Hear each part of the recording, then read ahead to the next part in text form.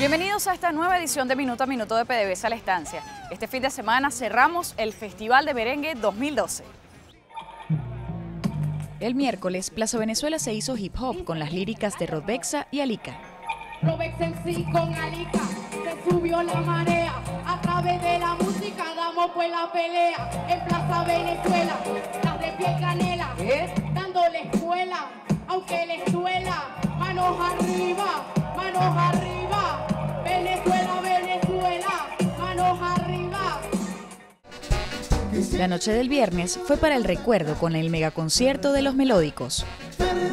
54 años que se van a cumplir haciendo historia, no solamente en Venezuela, sino llevando el nombre de Venezuela al exterior cada año desde el momento de su fundación. Una orquesta que rompió también con una cantidad de parámetros musicales al momento de su fundación. La tarde sabatina se llenó de sabor y baile con la orquesta de Porfi Jiménez. Llega a Venezuela en 1954, trabajó con Lavillo, trabajó con los Peniques, siempre como trompetista. Fue iniciando también una trayectoria como arreglista que lo llevó a ser el director musical del sello Velvet, que en los años 60 se establece en Venezuela.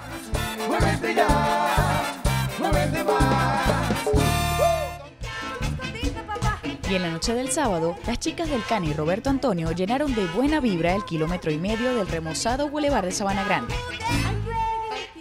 Estamos participando con una constelación de estrellas nacionales como Diviana, Roberto Antonio. Para nosotros es un honor y llevar el merengue de las chicas del CAN, la parte sexy, a este festival es de verdad reconfortante para nosotros.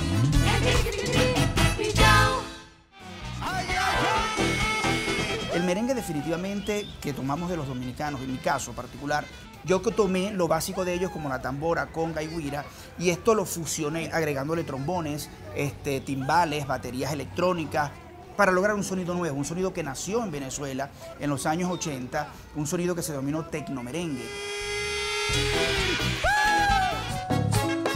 La fresca mañana dominguera fue idónea para que Diviana ofreciera lo mejor de su repertorio en el verdor de nuestra sede de la Floresta.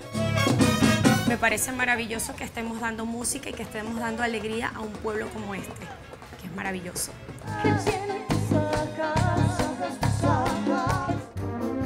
Para los más pequeños de la casa, en el marco de la segunda muestra nacional de cuentacuentos, la agrupación La Hormiga narró las más divertidas aventuras.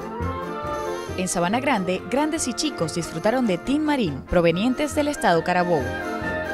A continuación, nuestra cartelera de próximas actividades. Conciertos. El sábado 31 de marzo, a las 4 de la tarde, en PDVSA La Estancia disfrutaremos de una demostración del joropo urbano y del joropo en piano, interpretado por Víctor Morles Natural.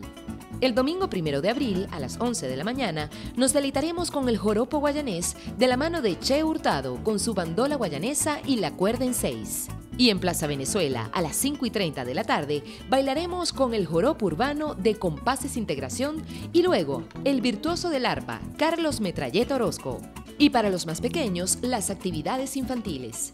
El sábado 31 de marzo, en Sabana Grande, a las 2 de la tarde, entretén a tus niños con los bailes de Joropiándolo. Y en Plaza Venezuela, a las 6, cautívalos con la música y las ocurrencias de la agrupación Afroindianidad.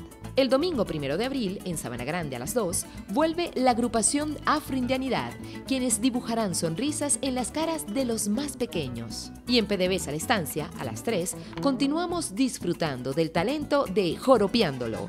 Como una instantánea cuenta más que mil palabras, aquí les dejamos las imágenes estancieras.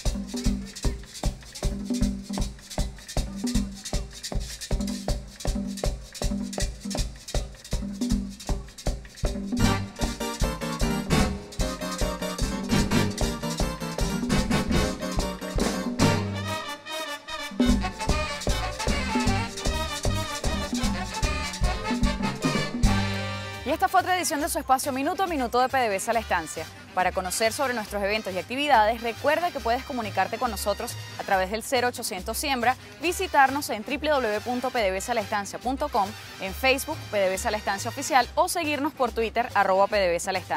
También puedes suscribirte a nuestro canal de YouTube PDVSA La Estancia 1 y disfrutar de este y otros videos relacionados con nuestro quehacer diario. Será hasta la próxima semana.